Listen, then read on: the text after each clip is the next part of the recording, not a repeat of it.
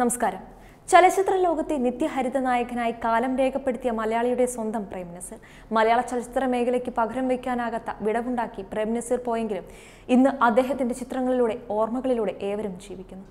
എണ്ണിയിലൊടുങ്ങാത്ത ചിത്രങ്ങൾ എണ്ണിത്തീരാത്ത ഹിറ്റുകൾ സമ്മാനിച്ചു ഇന്ത്യൻ സിനിമയിലെ തന്നെ ആദ്യത്തെ സൂപ്പർ താരമായിരുന്നു പ്രേം നസീർ വർഷം ആയിരത്തി തൊള്ളായിരത്തി അമ്പത്തിരണ്ട് മലയാള സിനിമ പിച്ച വെച്ചു തുടങ്ങുന്ന കാലത്തെ ഒരു വൈകുന്നേരം അന്ന് കേരളത്തിൽ പ്രവർത്തിക്കുന്ന ഏക ചലച്ചിത്ര നിർമ്മാണ സംരംഭമായ ആലപ്പുഴയിലെ ഉദയ സ്റ്റുഡിയോയിൽ നിർമ്മാണ പ്രവർത്തനങ്ങളിൽ ഏർപ്പെട്ടുകൊണ്ടിരിക്കുകയായിരുന്നു മലയാളത്തിലെ ആദ്യ സൂപ്പർ താരം എന്നറിയപ്പെടുന്ന തിക്കുറിശി സുകുമാരൻ നായർ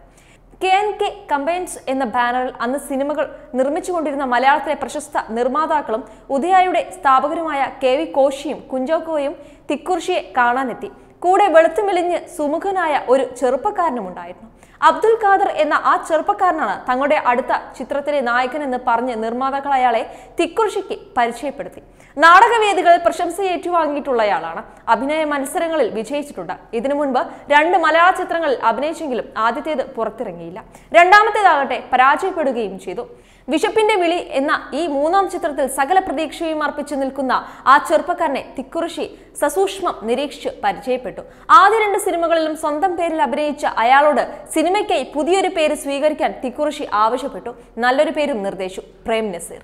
ചിറൈൻ കീഴ് അബ്ദുൽ ദാദർ എന്ന ആ ഇരുപത്തിരണ്ടുകാരനെ പ്രേം നസീർ എന്ന് പുനർനാമകരണം ചെയ്യുമ്പോൾ തിക്കുറിശി അറിഞ്ഞില്ല താൻ തിരുത്തുന്നത് മലയാള ചരിത്രത്തെയാണെന്ന് പ്രേം നസീർ ജന്മാന്തരങ്ങൾക്കിപ്പുറവും മലയാളിയുടെ കാൽപ്പനിക സങ്കല്പങ്ങളിലെ നിത്യഹരിത നായകനായി പ്രേക്ഷകർ ഹൃദയങ്ങളിൽ ജീവിക്കുന്ന വിഖ്യാത നടൻ അഘാരഭംഗിയും കലയോടുള്ള അഭിനിവേശവും സഹാനുഭൂതി നിറഞ്ഞ മനസ്സും മലയാളിക്ക് നസീറിന് പകരക്കാരനില്ലാതാക്കി മലയാള കാമുക സങ്കല്പങ്ങളുടെ ആദ്യ രൂപമായിരുന്നു പ്രേം നസീർ ഒരു കാലഘട്ടത്തിന്റെ ഒരു ജനതയുടെ പ്രതീകമായി നസീർ ഇന്നും മലയാളിയുടെ ഓർമ്മകളിൽ നിറഞ്ഞു നിൽക്കുന്നു ചിറൻ കീഴിൽ അക്കോട് ഷാഹുൽ ഹമീദിന്റെയും അസ്മാബിയുടെയും മകനായി ആയിരത്തി തൊള്ളായിരത്തി ഇരുപത്തി ആറിൽ ഏപ്രിൽ ഏഴിനാണ് അബ്ദുൽ ഖാദർ ജനിക്കുന്നത് ബിസിനസ്സുകാരനും കലാപ്രേമിയുമായിരുന്ന പിതാവ് ഷാഹുൽ ഹമീദ് മാതാവ് അസ്മാബിയെ നസീറിന് ചെറുപ്പത്തിൽ തന്നെ നഷ്ടപ്പെട്ടു ആലപ്പുഴ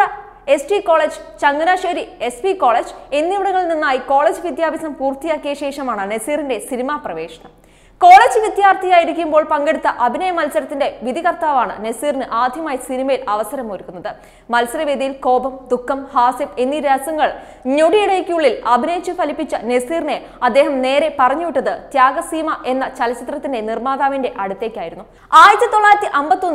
ചിത്രീകരണം ആരംഭിച്ച ത്യാഗസീമ അനശ്വരമായ നടൻ സത്യന്റെയും ആദ്യ ചിത്രമായിരുന്നു എന്നാൽ ഈ ചിത്രം പാതിയിൽ മുടങ്ങിപ്പോയി നസീർ രണ്ടാമതായി അഭിനയിച്ച മരുമകൾ എന്ന സിനിമയും വിജയം കണ്ടില്ല ആയിരത്തി തൊള്ളായിരത്തി അൻപത്തിരണ്ടിൽ പുറത്തിറങ്ങിയ ഉദയയുടെ വിശപ്പിന്റെ വിളിയാണ് പ്രേം നസീറിനെ പൊടുന്നനെ താരപ്പകിട്ടിലേക്ക് ഉയർത്തിയത് ആ വർഷത്തെ ഏറ്റവും വലിയ സാമ്പത്തിക വിജയങ്ങളിലൊന്നായിരുന്നു വിശപ്പിന്റെ വിളി അബ്രപാളയിൽ അന്നുവരെ കണ്ടിട്ടില്ലായിരുന്ന അഭിനയ ശൈലിയും സൗന്ദര്യവും പ്രേം നസീറിനെ വളരെ പെട്ടെന്ന് തന്നെ ജനപ്രിയമാക്കി മാറ്റി പിൽക്കാലത്ത് സ്റ്റീരിയോ ടൈപ്പായി മുദ്ര കുത്തപ്പെട്ടെങ്കിലും മരം ചുറ്റിപ്പാടുകയും പ്രണയിക്കുകയും ചെയ്യുന്ന നസീർ അമ്പതുകളിലെയും അറുപതുകളിലെയും മലയാള സിനിമയ്ക്ക് സമ്മാനിച്ച യുവത്വത്തിന്റെ പ്രസരിപ്പ്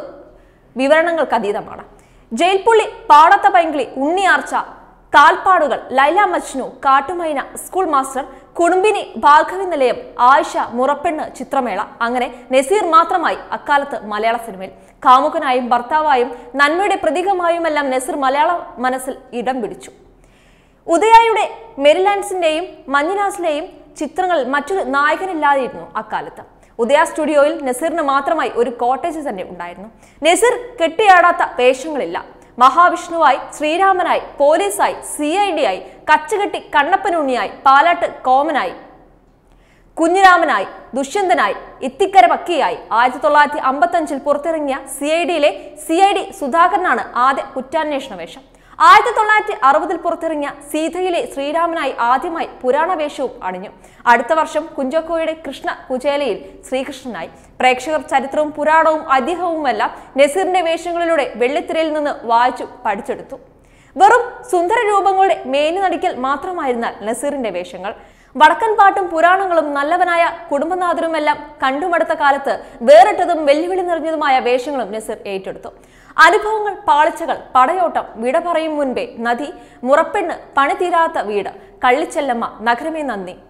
അടിമകൾ അച്ചാടി അസുരവിത്ത് കടൽപാലം ലങ്കാദഹനം അഗ്നിപുത്രി തുടങ്ങിയ സിനിമകളിലും അഭിനയ കൊണ്ട് നസീർ വേറിട്ട് നിന്നു താരപദവിയിൽ അഭിനയിക്കാതെ മറ്റു താരങ്ങളുടെ ചിത്രങ്ങളിൽ വില്ലനായും സഹനടമായുമല്ല നസീർ അഭിനയിച്ചു സൂപ്പർ താര പദവിയിലേക്കുള്ള പ്രേം നസീറിന്റെ വളർച്ചയ്ക്ക് ഇന്നും താരതമ്യങ്ങളില്ല ഇടക്കാലത്ത് മലയാളത്തിൽ തരംഗമായിരുന്ന വടക്കൻ പാട്ട് സിനിമകൾ നസീറിനെ മാറ്റി നിർത്തിക്കൊണ്ട് ചിന്തിക്കാനായിരുന്നില്ല സി ഐ ഡി റോളുകളും ഡബിൾ റോളുകളുമെല്ലാമായി അക്ഷരാർത്ഥത്തിൽ മലയാള സിനിമയെ അടക്കി ഭരിക്കുകയായിരുന്നു നസീർ നാല് പതിറ്റാണ്ട് നീളുന്ന കലാജീവിതത്തിനിടയിൽ മലയാളം തമിഴ് തെലുങ്ക് കന്നഡ ഭാഷകളായി എഴുന്നൂറിൽ പരം സിനിമകളാണ് നസീറിൻ്റെതായി പുറത്തു വന്നത് കരിയറിന്റെ സുവർണ കാലങ്ങളിൽ പ്രതിവർഷം ശരാശരി പതിനഞ്ച് മുതൽ ഇരുപത് വരെ സിനിമകളിൽ അഭിനയിച്ചിരുന്ന അദ്ദേഹം ആയിരത്തി തൊള്ളായിരത്തി എഴുപത്തി ഒൻപതിൽ മാത്രം ചെയ്തത് മുപ്പത്തി ഒൻപത് സിനിമകളാണ് നസീർ ഷീല ജോഡിയുടേതായി നൂറിലധികം സിനിമകൾ പുറത്തു വന്നിട്ടുണ്ട് തൊണ്ണൂറോളം നായക നടിമാർക്കൊപ്പമാണ് പ്രധാന കഥാപാത്രമായി അദ്ദേഹം അഭിനയിച്ചിട്ടുള്ളത് ഇതെല്ലാം സർവകാല റെക്കോർഡുകളാണ് പ്രേം നസീർ നടന്നു കയറിയ നേട്ടങ്ങളുടെ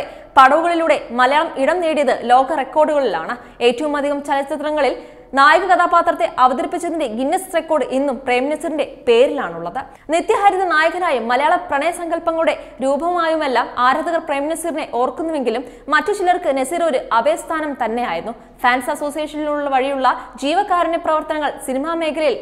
പതിവ് രീതിയായി മാറുന്നതിനും പതിറ്റാണ്ടുകൾക്ക് മുൻപേ പ്രേംനസിർ നേരിട്ട് തന്നെ അത്തരമൊരു രീതി തുടങ്ങി വെച്ചിരുന്നു എക്കാലത്തെ മികച്ച കലാകാരന്മാരിൽ ഒരാളായിരുന്നിട്ടും പുരസ്കാരങ്ങളും അംഗീകാരങ്ങളും നസീറിനെന്നും അകലെയായിരുന്നു മികച്ച നടനുള്ള സംസ്ഥാന ചലച്ചിത്ര പുരസ്കാരം ഒരിക്കലും അദ്ദേഹത്തെ തേടിയെത്തിയിട്ടില്ല ദേശീയ പുരസ്കാരമാകട്ടെ കപ്പിനും ചുണ്ടിനുമിടയിൽ നഷ്ടപ്പെട്ടു പോവുകയും ചെയ്തു രാജ്യം അദ്ദേഹത്തെ പത്മശ്രീയും പത്മഭൂഷണവും നൽകി ആദരിച്ചിരുന്നെങ്കിലും അവയെല്ലാം വൈകിയെത്തിയ അംഗീകാരങ്ങൾ മാത്രമായിരുന്നു അസുഖബാധിതനായി ചികിത്സയിൽ കഴിയവേ ആയിരത്തി തൊള്ളായിരത്തി എൺപത്തി ഒൻപത് ജനുവരി പതിനാറിന് ചെന്നൈയിൽ വെച്ചാണ് പ്രേംനസർ അന്തരിച്ചത് അഭിനേതാവ് എന്ന റോളിൽ നിന്നും അവധിയെടുത്ത് സംവിധായകന്റെ കുപ്പായമണിയൻ തയ്യാറെടുക്കുകയായിരുന്നു അദ്ദേഹം അപ്പോൾ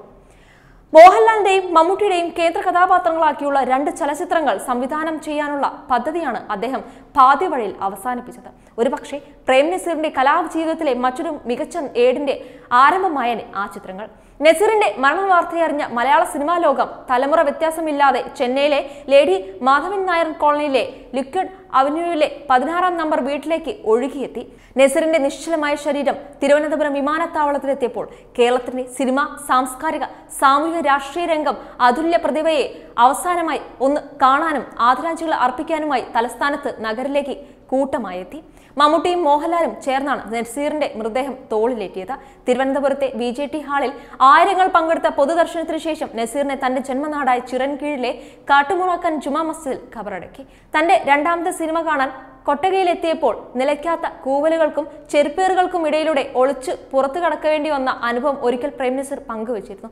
പ്രതിസന്ധികളോട് പോരാടി ലോക റെക്കോർഡ് നേടിയ പ്രേം നസീർ എന്ന പ്രതിഭ സിനിമയിലും ജീവിതത്തിലും പകരക്കാരനില്ലാത്ത വിധം തന്റെ കർമ്മമണ്ഡലങ്ങളിലെ അതികായകനാവുകയായിരുന്നു നിത്യഹരിത വസന്തത്തിന് മലയാളിക്ക് ഒരേ ഒരു പര്യായ പദമേ ഉള്ളൂ പ്രേം നസീർ വെബ് പത്തൊമ്പത് ന്യൂസ്